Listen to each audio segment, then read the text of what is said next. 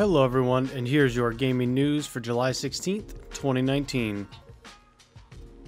Yoshi's Adventure Omni Mover ride is coming to the Super Nintendo World when it opens. This is basically like one of those trains you put your kid on and you get on and you just go throughout the park. That's what it is. Except you're at Yoshi. They mostly focus on archery. No. Fire Emblem Three Houses has got a Golden Deer trailer, and that wraps up basically all the family houses. So now you can check out those trailers, and hopefully it'll help you decide on who you want to play as. Tetris Effect is coming to PC on July 23rd. It'll have support from the Oculus Rift and the HTC Vive. Uh, this is, however, an Epic Store exclusive.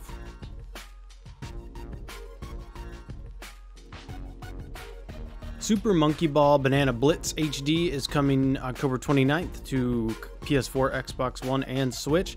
There's been rumors of them making a new Super Monkey Ball. It could just be this, but there's still a chance we get a new Super Monkey Ball.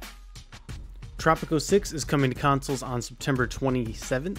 Uh, this is basically a game where you own an island and you have to build it up. You've got to deal with trade, export, all that business, earn money. It's a sim. All right, there's your news for July 16th. If you need more information, there are links below. And if you liked what you saw and got what you needed, like, comment, subscribe. See you guys in the next video. Later, Gators.